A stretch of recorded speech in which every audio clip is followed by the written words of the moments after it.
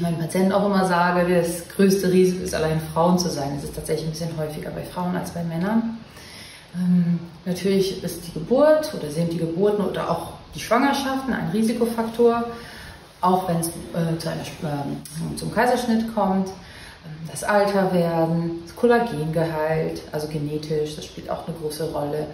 Eine chronische Belastung, also eine Dauerbelastung vom Beckenboden, wie durch immer husten oder wirklich immer kräftig tragen oder durch Verstopfung, wo man immer auf den Beckenboden drückt.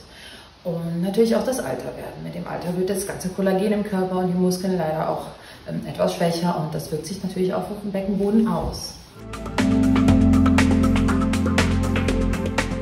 Die zwei häufigsten ähm, Formen sind die sogenannte Belastungsinkontinenz, die früher auch Stressinkontinenz genannt wurde.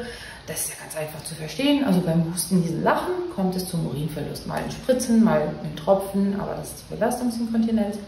So ungefähr ein Drittel der Frau ist von dieser Form betroffen. Die andere ist die sogenannte Dranginkontinenz, ähm, wo ich sag mal so, die Blase nicht gerne speichert. Sprich, wenn man diesen Drang hat, dann muss man auch rennen. Also die Blase drückt. Das ist nicht, dass die Patientin nicht halten kann, sondern dass die Blase sich spontan entleeren möchte.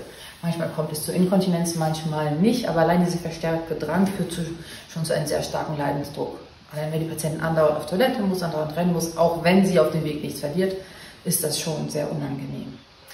Ähm, die kombinierte Form, die Mischinkontinenz, also die kombinierte Form von Belastungs- und Dranginkontinenz, kommt ungefähr bei 40 bis 45 Prozent der Frauen vor.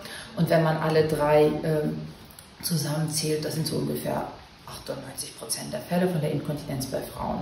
Die anderen so seltene Fälle wie nach Operation, nach Bestrahlung oder wegen einem angeborenen Fehler, das sind so eher Ausnahmefälle.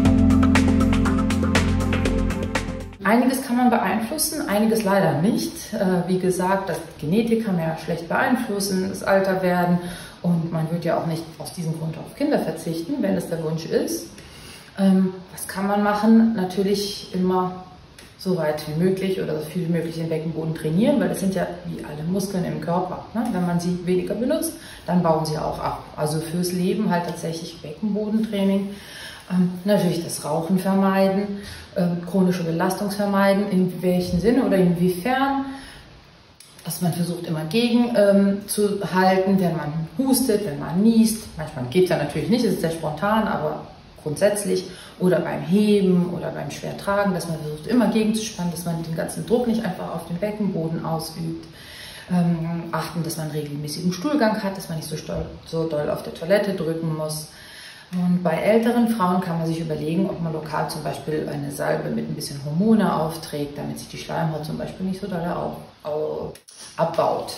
Das sind so einige Sachen, die die Frauen ähm, halt machen können zählt auch dazu, tatsächlich ein, ich sag mal so ein Normalgewicht zu behalten, weil Übergewicht ähm, schadet natürlich auch, ist eine extra Belastung für den Beckenboden.